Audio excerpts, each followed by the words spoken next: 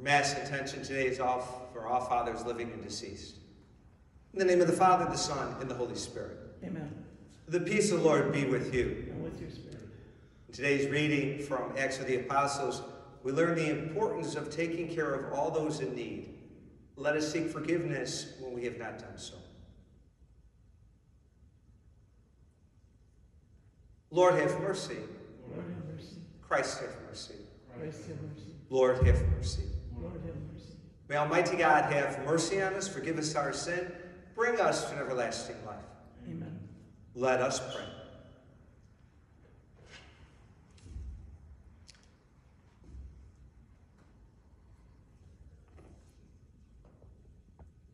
Set aside, O Lord, the bond of sentence written for us by the law of sin, which is the paschal, which in the paschal mystery you canceled, through the resurrection of Christ your Son, who lives and reigns with you in the unity of the Holy Spirit, one God forever and ever. Amen.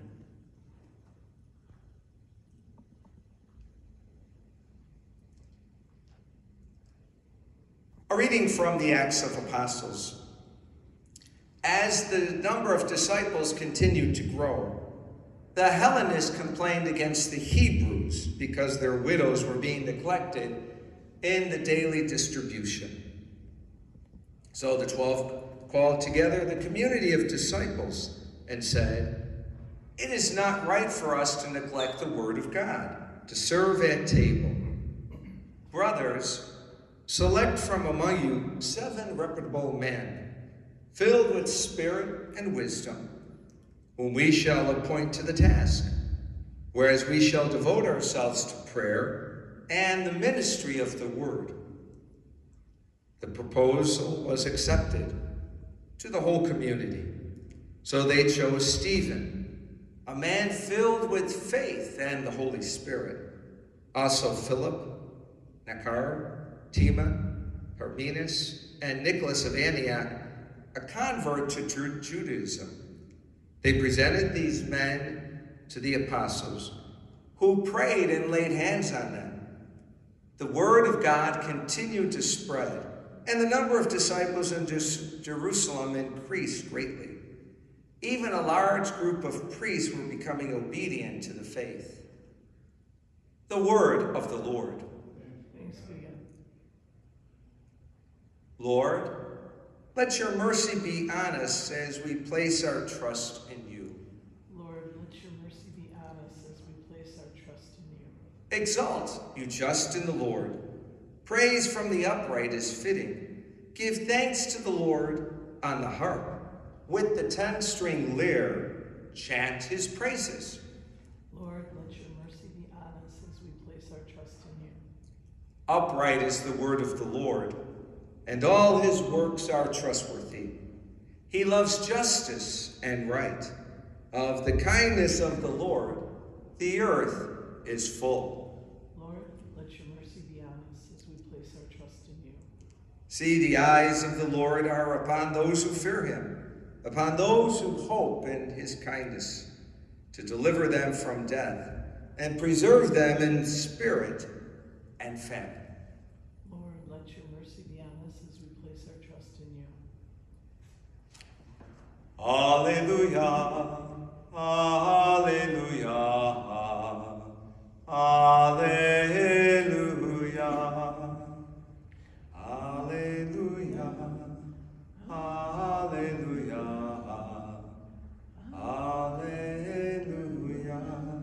The Lord be with you. A reading from the Holy Gospel according to John. When it was evening, the disciples of Jesus went down to the sea, embarked in a boat, and went across the sea to Capernaum. It was already grown dark, and Jesus had not yet come to them. The sea was stirred up because a strong wind was blowing. When they had rowed about three or four miles, they saw Jesus walking on the sea and coming near the boat. And they began to be afraid. But he said to them, It is I. Do not be afraid. They wanted to take him into the boat. But the boat immediately arrived at the shore to which they were heading.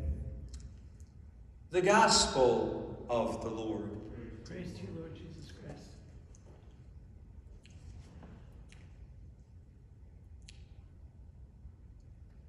In our first reading from Acts the Apostles, there's this whole conversation. How do we best take care of the widow? How do we best take care of that person or persons in need? And, and as we hear from Acts of Apostles, there, there, was a, there was a big conversation. So, when you get a group of people together and you have a problem to solve, what do you do? You form a committee, especially in church world. And that's exactly what they did. But the committee, through prayer and discernment, came up on how best the community can take care of those in need. And then Stephen and the other apostles were appointed. As disciples of Christ, that's one who learns from the Master, we're called to live a stewardship way of life. And that, that what that means is stewardship is how do we take the care of the things entrusted into our care, time, our talent, our resources?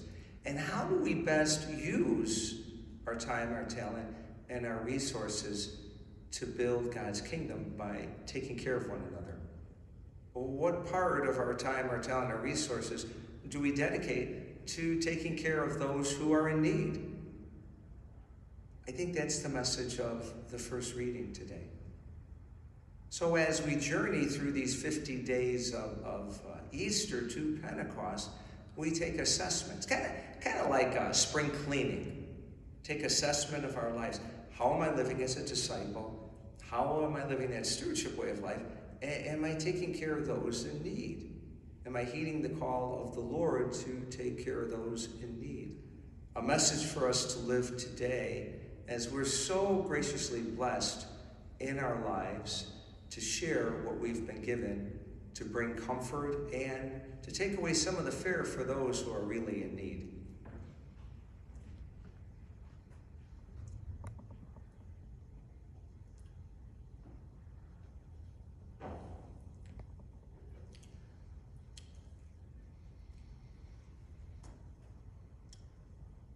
Knowing that we need not be afraid, we join together in faith and trust to present our needs to the Lord. For the Holy Father, Pope Francis, may the Lord continue to bless him and use him for his glory. Let us pray to the Lord. For political leaders, may they be blessed with integrity and humility and service to their people, especially the poor. Let us pray to the Lord. For all those who live in their lives in fear, May the, may the Lord look graciously upon them and help them hear and believe. In the comforting words of our Savior, let us pray to the Lord. For our community of faith, may the Lord continue to call forth people to serve the church and one another. Let us pray to the Lord. And for the petitions we hold within the silence of our hearts.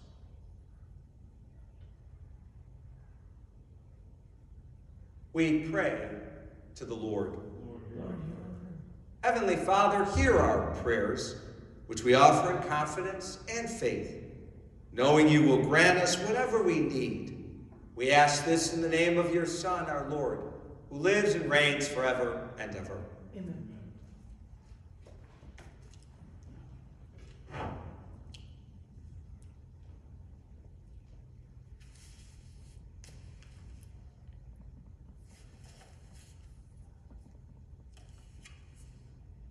Blessed are you, Lord God of all creation, for through your goodness we have this bread to offer, which earth has given. Human hands have made. It will become for us the bread of life.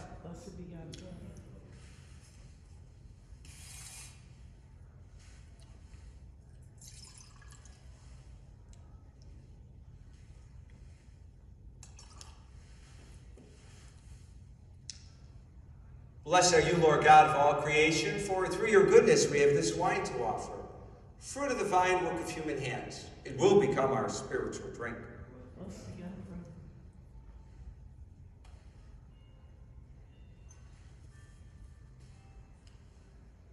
Pray, my brothers and sisters, that my sacrifice and yours may be acceptable to God the Father Almighty.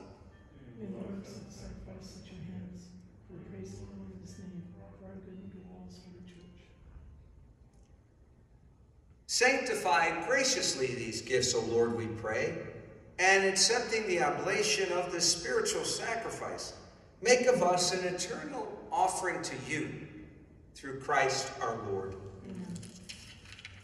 Uh, the Lord be with you. And with your spirit, Lift up your hearts. we lift them up to the Lord. Let us give thanks to the Lord our God. It is right and just. It is truly right and just, our duty and our salvation, always and everywhere, to give you thanks. But in this time, above all, to laud you yet more gloriously when Christ our Passover has been sacrificed.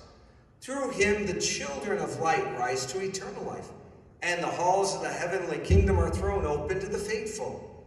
Therefore, overcome with paschal joy, every land, every people exalts in your praise. And even the heavenly powers with the angelic host sing together the unending hymn of your glory as they acclaim Holy, holy, holy, Lord God of hosts. Heaven and earth are full of your glory. Hosanna in the highest. Blessed is he who comes in the name of the Lord. Hosanna in the highest.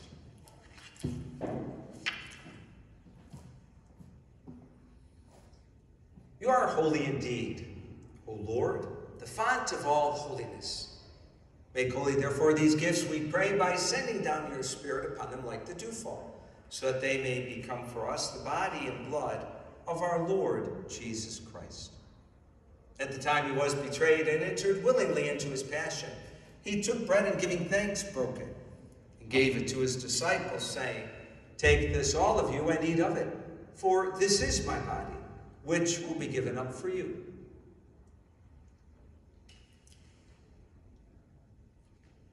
In a similar way, when supper was ended, he took the chalice. And once more giving thanks, he gave the chalice to his disciples, saying, Take this, all of you, and drink from it.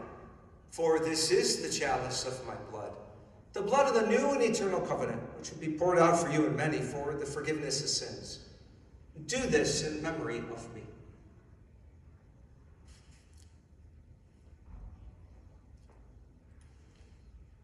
The mystery of faith.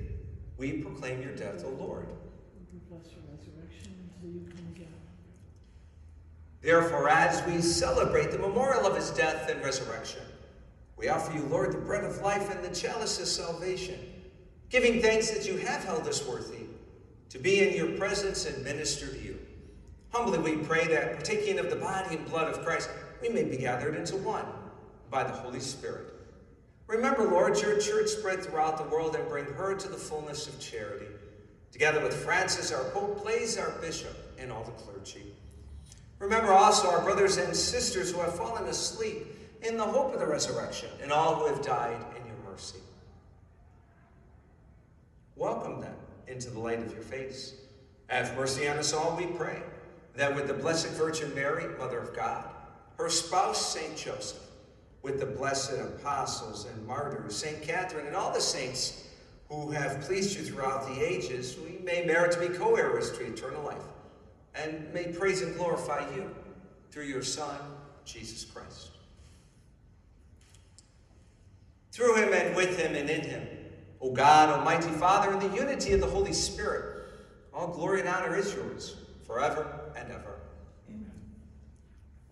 At the Savior's command, informed by divine teaching, we dare to say, Our Father, who art in heaven, hallowed be thy name. Thy kingdom come, thy will be done, on earth as it is in heaven. Give us this day our daily bread, and forgive us our trespasses, as we forgive those who trespass against us. And lead us not into temptation, but deliver us from evil. Deliver us, Lord, we pray, from every evil. Graciously grant peace in our days, so that by the help of your mercy, we may be always free from sin, safe from all distress, as we await the blessed one and the coming of our Savior, Jesus Christ. For the kingdom, the power, and the glory are yours, now and forever. Lord Jesus Christ, who said to your apostles, Peace I leave you, my peace I give you. Look not on our sins, but on the faith of your church, and graciously grant her peace and unity in accordance with your will, who lives and reigns forever and ever. Amen. The peace of the Lord be with you always. And now let us share with one another a sign of Christ's peace.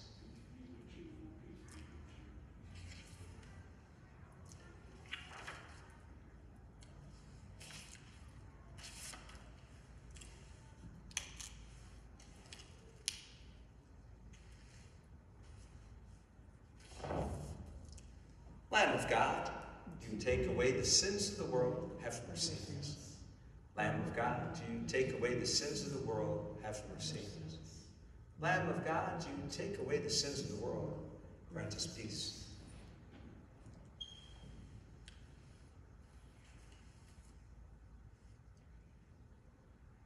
Behold the Lamb of God. Behold him who takes away the sins of the world. Blessed are those called to the supper of the Lamb. Lord,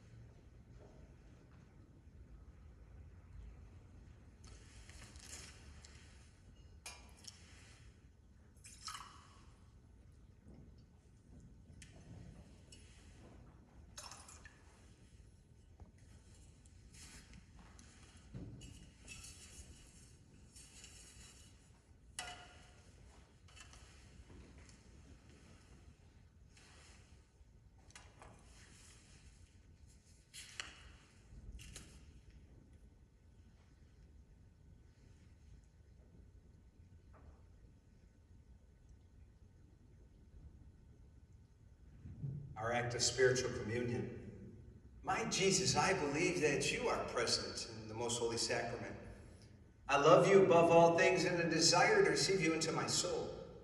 Since I cannot at this moment receive you sacramentally, come at least spiritually into my heart. I embrace you as if you're already there and unite myself wholly to you. Never permit me to be separated from you. Amen.